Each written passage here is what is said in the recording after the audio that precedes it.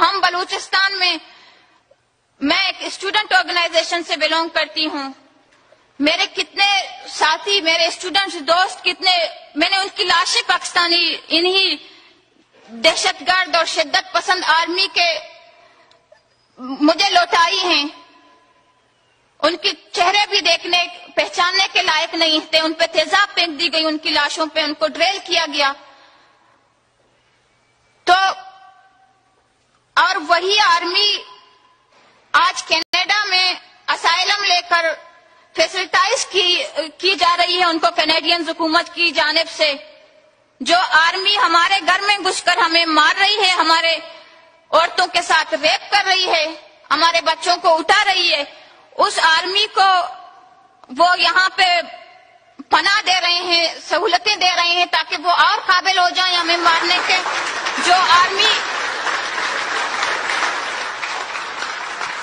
जो आर्मी 1970 को बांग्लादेश में वार क्राइम्स में मुलविस रही है जेनोसाइड में मुलविस रही है, लाखों बंगाली औरतों की असमत दरी करने में मुलविस रही है, वही आर्मी वो 1947 से 48 से बलूचिस्तान में कर रही है।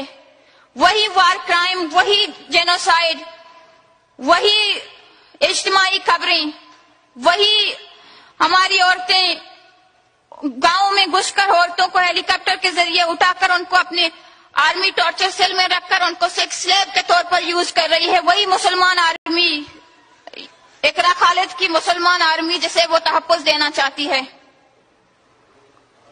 मैं एक विक्टिम के तौर पर यह समझती हूँ कि अगर ऐसा कुछ हुआ, अगर ये बिल पास की गई न सिर्फ़ ये कनाडा के मुसलमानों के लिए, बल्कि दुनिया के इंसानों के लिए एक जहर साबित हो सकती है।